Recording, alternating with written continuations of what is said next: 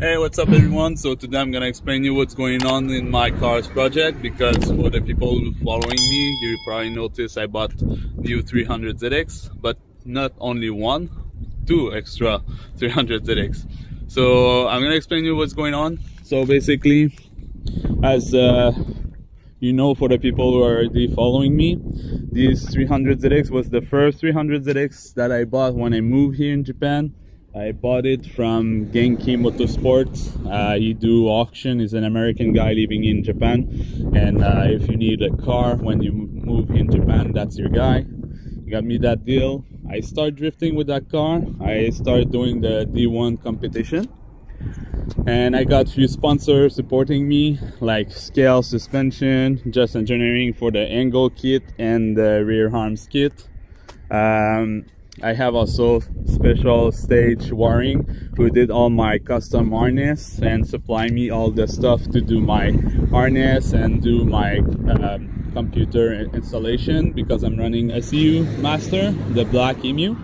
And then, uh, yeah. So I had also sponsored by Mission that give me all the wide body kit and the, the spoiler.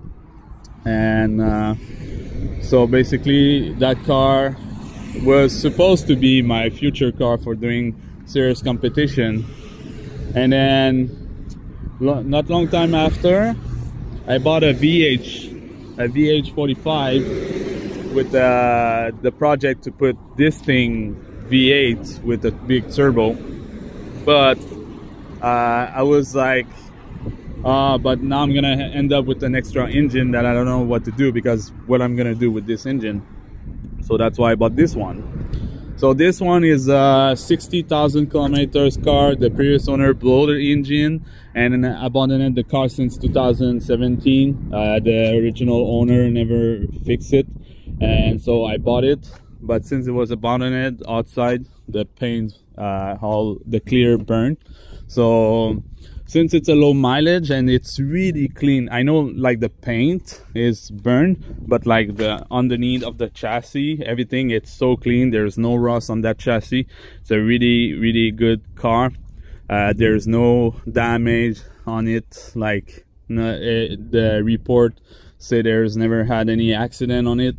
So i think it's really worth it to save that car. I want to put it as original as possible and then make it clean clean because I really want to sell that car to someone who's gonna treat well that car.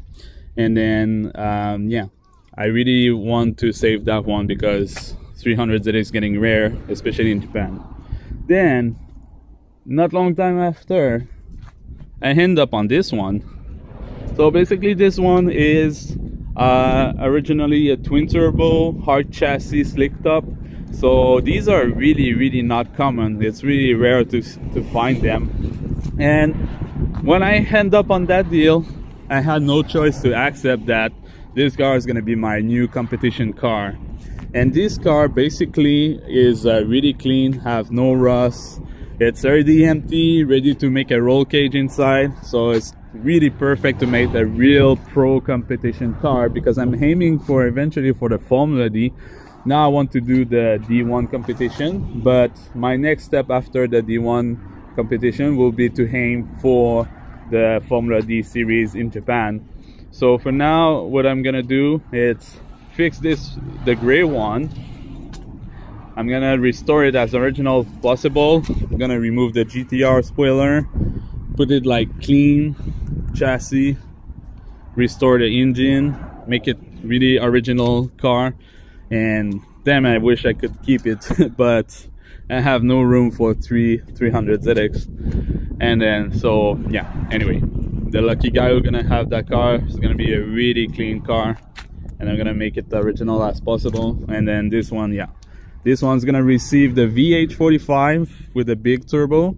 And then after that well this one um, I decided that I will probably swap an SR20 because like in Japan if you don't know basically you have to pay um, the license plate depending on the engine displacement you have. So basically if you have a 3 liter in Japan it's really expensive but if you have like around 2 liter or less it's really better. Plus an SR20 will improve the light, uh, the weight reduction and then I will still be able to drift it because even I'm gonna make it as a street legal car. I, I still want to keep it as like drift fun car for the weekend when I don't want to use the big V8 one. So probably uh, try to get another angle kit on this one and then keep drifting it. And uh, yeah. That's what is the project for now. So for today I'm gonna keep working on the cars and then I'm gonna keep you updated on the future project so if you want to stay updated don't forget to subscribe like and share to support me. Drive safely. See you next time guys